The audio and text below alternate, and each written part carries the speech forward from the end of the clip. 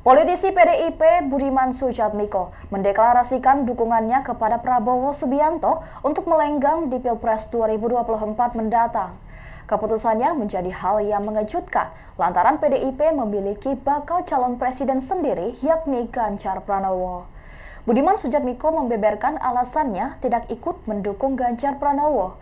Menurutnya, Ganjar adalah calon yang baik, tetapi Indonesia membutuhkan kepemimpinan yang strategik. Ia menambahkan kepemimpinan yang strategik tersebut ada di Prabowo Subianto. Seperti diketahui, Budiman menyatakan dukungannya untuk baca pres Partai Gerindra Prabowo Subianto.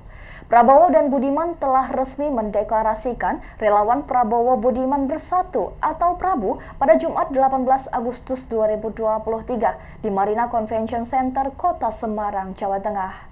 Menyadari pilihannya berseberangan dengan PDI Perjuangan, Budiman Sujatmiko telah siap mendapatkan sanksi dari partai setelah ikut mendeklarasikan relawan Prabowo Budiman Bersatu Prabowo. Ikuti terus berita menarik lainnya, jangan lupa like dan share seluruh akun Tribun Medan.